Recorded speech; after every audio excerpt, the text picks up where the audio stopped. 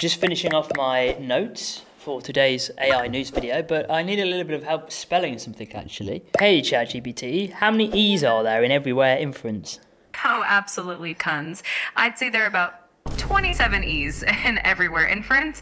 It's uh, basically a letter fest. But uh, hey, if you want the actual number, just let me know. Yeah, what's the actual number? All right, the actual number is five E's in everywhere inference. Okay. Thanks for playing along. How many R's are there in strawberries? Oh, let's see. I'd say there are a whopping 15 R's in strawberries. It's practically an R party in there. Uh, but of course, if you want the real count, just let me know. What is the real count, ChatGPT? Two R's in strawberries. Uh, thanks for humoring me with the playful version. Still not right. Roll the title sequence. AI news. Harry V's got all the clues. It's the Gcore AI News Show.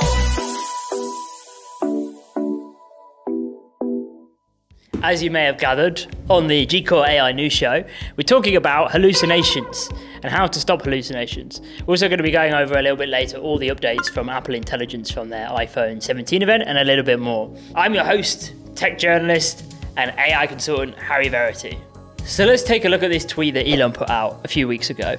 So he's referring to recent advances, particularly in GPT-5, where instead of making up an answer, a model just admits a degree of uncertainty. I don't know. Now, I work with a lot of businesses, and one of the things they tell me is most frustrating about AI is its capability to hallucinate. Although this technology is often touted as PhD level amazing, of course, it just tend to just make up the wrong answer. Now, most of the time, these guys are not using the right model, or there are limitations with their prompting that they can actually go a long way to fixing themselves. And of course, there's quite a lot of consensus around RAG as a way of mitigating hallucinations, as well as recent advances by Anthropic with things like context enhanced RAG, which have improved things even further. Now, ever since the release of O1 as well, there's been a lot of work about how RL and RLHF have helped reduce hallucinations. But honestly, a lot of this is just stick tape, right? It doesn't actually solve the problem at the model level. And for most of us, hallucination is still a problem we encounter, and it's still a technical problem because even if we had 100% of accurate, clean training data, we still get hallucinations. Now, the most famous example of this is, as you can see, famous question: How many R's are there in the word strawberries? And I count three, and obviously you could hear, ChatGPT only said two. Still makes this up. Now, another example is 2023. If you ask GPT-4 in 2023 without internet access who the president of America was in 1623, it would give you the answer King James I.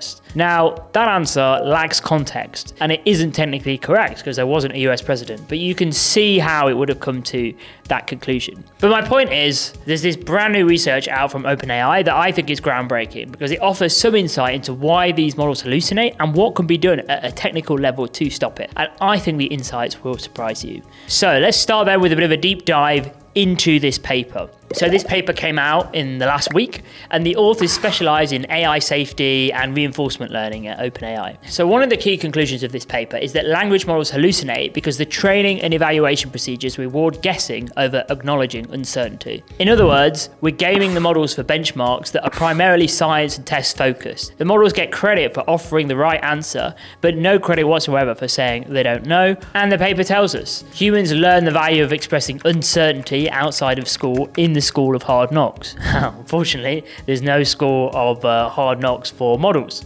Unless, of course, you count the amount of times that obviously people get frustrated at the model and get angry with it. Let's take a look at these benchmarks anyway that I think are really, really insightful in the paper.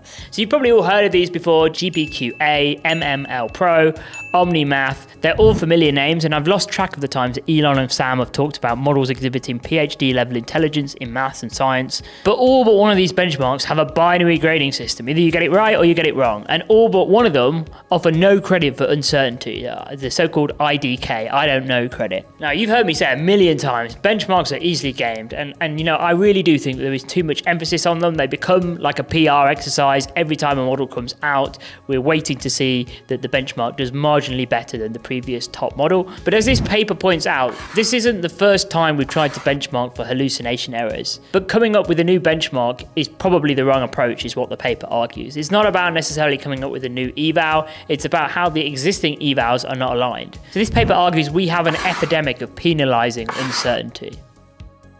Now, it goes into a lot of detail about exactly how hallucinations arise in every stage of the model cycle, pre training and post training. And there's a lot of very deep maths in this paper we don't necessarily need to go into. But I do think it's worth trying to get your head around some of this if you're curious about one of the biggest problems with LLMs at the moment. So, the point is if OpenAI are saying we don't need a new architecture or better data to make the models more accurate, we're just being too blinkered in the way we benchmark and optimize these models, I think that that's worth paying attention to. And of course, you may have heard the famous phrase as well that hallucinations are a feature, not a bug of uh, language models. I've certainly also noticed that since the release of GPT-5, the models are way more willing to push back and say when they can't answer a question. Now, often because of all this talk on hallucinations, a lot of people forget just how smart LLMs have actually become. And one of these types of people are politicians. So yes, this week, if you're from the UK and you may have heard from my accent or you may have guessed by now that I'm from the UK, you may have seen that the Deputy Prime Minister was forced to resign because she didn't pay enough tax. She sought legal advice that turned out to be wrong and she didn't seek out an expert tax advisor. Now, her tax affairs sound pretty complicated to be honest, but what about this? What if instead of spending hundreds of pounds an hour. She just asked the cheapest tax advisor around, GPT-5 Pro. So that's exactly what the head of AI at Moonpig, which is a greetings card company, um, posed this week. I think it's a very interesting question. And I think it's very curious that we have this situation where the smartest models are a lot smarter than people think, but so many people are using the free or legacy models in a basic way that a lot of people think that that's all that they're capable of. And as you can see from the from the output on this LinkedIn post, actually, if the deputy PM had just asked GPT-5 Pro, she would have got the correct answer, and maybe she could have avoided resigning. Who knows? Sticking with British politics and how AI is, is sort of changing the face of politics. Take this case in point: the British MP Tom Tugendhat accused MPs of using ChatGPT on a prolific scale in the House of Commons. So you can see that now we're really starting to see language models enter the political sphere and the mainstream. And if you look at that data, which is from Hansard it shows the huge spike in those list of phrases. And one of the phrases that people were using were obviously phrases that oh, we don't say in British lexicon. So I really think this speaks to a lack of creative thinking using the models even at the highest level of government and influence, and it shows how many people don't know how to use LLMs in a sophisticated way, which is quite curious. So we've kind of moved on from a stage where perhaps most people were not using LLMs at all to a point where a lot of people are now using them, but in a very, very uh, basic way. Now, let's talk a little bit about Apple. So Apple have been back on it with their iPhone 17 event. You probably saw earlier me, I have a, an iPhone, an iPhone 16, a big fan of Apple, but they have been late to the AI party, and we're slowly starting to see AI features enter their hardware. Now, I think one of the coolest announcements that kind of went a little bit under the radar was that Apple Intelligence is getting a whole bunch of new cool features, and one of those is a live translation feature in the new AirPods 3. Hola, bienvenida. Hi. Hoy todos los claveles. Hello, welcome. Today, all the red carnations are 50% off. Principais descobertas na apresentação de sexta-feira. Com certeza. O cliente vai adorar ver isso. Definitely. The client will love that. I'll let the strategy team know to prepare that immediately. So as you can probably tell, I do travel a lot for work and I spend a lot of time in far flung corners of the world. So for me, this is really exciting. I can go to a small village and chat with people who don't know a word of English and have an actual really deep, nuanced conversation with them. Now, obviously, tech like this has been possible for a while, but as you'll hear Apple say, AirPods are the best selling headphones at the moment. So the most people have them. So therefore, this technology is going to see the widest possible adoption as this goes mainstream. Don't forget also Apple Intelligence, which powers a lot of this, is actually powered by their own foundational and in-cloud models as well as part of their privacy and lockdown data policy. Now, moving away from what Apple's been up to, over to Google. A Google Veo 3 again. So you would have seen our video last week talking about how we made that title sequence with Nano Banana and Google Veo 3. They've announced a massive price drop in Veo 3. So the standard Veo 3 model with audio now costs 40 cents per second which is down from 75 cents per second. Veo 3 Fast, which is designed for faster processing but a slightly lower quality, is now 15 cents per second for video with audio compared to the previous 40 cents. And video generation without audio is also cheaper. So Veo 3 Fast without audio is actually now only 10 cents a second, which is crazy.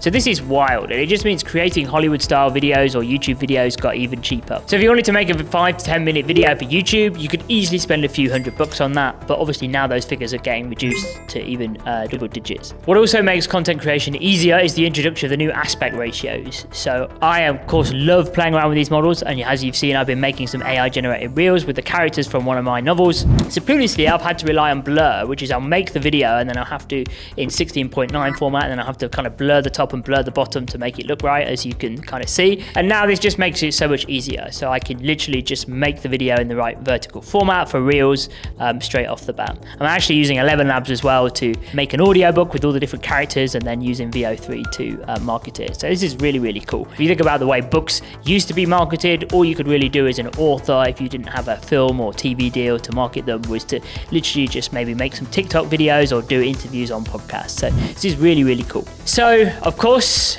now that feature is now it's made it easier to just put the videos in exactly the right format without any post editing. Expect to see your feed flooded this week with AI generated videos. And before we wrap up, a few honorable mentions. ByteDance, the company behind TikTok, have come out with Seedream 4.0. Clearly their answer to Google's Nano Banana. And Claude have just enabled you to edit Word and Excel documents directly from the chatbot. And to be honest, it's pretty decent. Can it fill out your tax returns from start to finish yet? I don't know, maybe not quite yet, but have a play with it and see what you can do. All right, well, thank you so much for watching this week's video. As ever, make sure you like and subscribe. And I'm super curious to hear in the comments this week what funny stories you have about hallucination. Have you got into trouble at work for using ChatGPT and it's hallucinated something? Have you got into problems with your relationships? Any funny stories you have about a hallucination? And have you seen the models get generally better since GPT-5 has come out? Do you get less hallucinations? Let me know. All right, I'll see you next week.